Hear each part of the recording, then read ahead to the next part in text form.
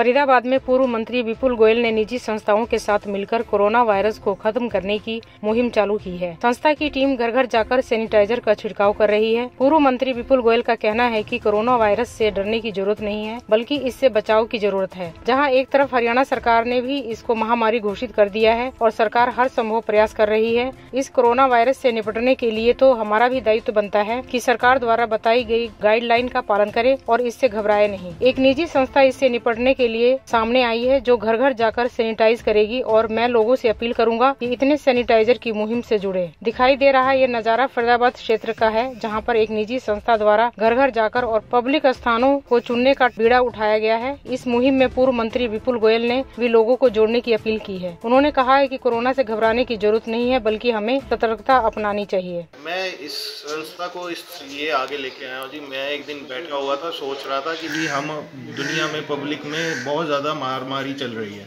तो मैं इन सबको सेव करने के लिए ये अपना मिशन एक चालू कर रहा हूँ, जो एक सेवा के प्रति ही है। और मैं कोशिश ये करूँगा कि भी जितना सेवा हो सके मैं सेवा करने के लिए आगे आऊँगा बढ़ चढ़ के। प्रति घर से हम सिर्फ़ सौ रुपया एक चार्ज करेंगे, क्योंकि वो हमें हमने जो एक तो एम्प्लॉयमेंट भी दे रहे हैं लोगों को, जो एम्प्लॉयमेंट है उसको पे करने के लिए जो हम सौ रुपया चार्ज करें जो लड़के काम करें हाँ। जी ये बिल्कुल गाड़ियों के अंदर भी किया जाएगा और प्रति गाड़ी भी सौ रुपया लिया जाएगा। किसी ने गाड़ी में कराना है, किसी ने किसी फ्लोर पे कराना है, सौ रुपया लगेगा। हमारे मंत्री जो है उनके इन्होंने हमें मोटिवेट किया, भाई, कोई फरीदाबाद के लिए ऐसा काम करिए, जो से आज तक जो फैल रही है, बीमारियाँ फैल रही है, कोरोना वायरस के, उसको बैक्टीरिया से बचाने के लिए कुछ करो। तो हमने एक इनको, मिस्टर सन्नी जी को हमने पता किया अभी ये इस मामले में एक्सपर्ट हैं। तो हम इनको इनसे साथ हमारा संबंध हुआ। कि अब इसके बाद हमने ये सोचा भी गाँव जो घर घर में हम स्प्रे करवाएँ घर घर में हमने कोरोना वायरस से बचाने के लिए, कम से कम हमारा जो जो खर्चा है, वो खर्चे से भी कम है हमारा जो, उस पैसे हम वहन करेंगे। इंडिया एंजल मिशन के नाम से हम ये प्रोग्राम शुरू किया है। इससे सारे सारे पूरी फरीदाबाद की जनता को सबको फ़ायदा होगा। इसमें सिर्फ़ सौ रुपये हम प्रति घर से हिसाब से लेंगे। और इसमें मैं चाहता हूँ सबके, आपके माध्यम से सब ये सबको अवेयर हो जाएँ और थोड़ा थोड़ा सबका अपने अपने घरों में वायरस से बचाने के लिए स्प्रे करा। देखिए, कोरोना की जो स्थिति, कोरोना ने जिस तरीके से विश्व में आज बहका माहौल है और हरियाणा ने भी इसे महामारी घोषित किया है तो इससे घबराने की ज़रूरत नहीं है, इससे लड़ने की ज़रूरत है, इससे अवेयर होने की ज़रूरत है।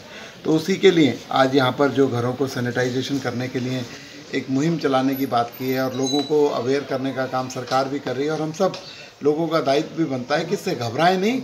इससे इस जो जो प्रॉब्लम आज पूरे विश्व के अंदर आई है, इससे लड़कर इससे अपने जो जो प्रिकॉशंस मेडिकल ऑफिसर्स और हमारी सरकार बता रही है, उसको अपनाकर हम इससे बच सकते हैं। तो इसी तरीके से इससे भयग्रस्त ना होकर, इससे लड़ने के लिए एक होम सैनिटाइजेशन की जो बात चली है, इसमें एक संस्था जो आपके सामने अभी आपने पूरी बात भी करी, वो सामने आई है।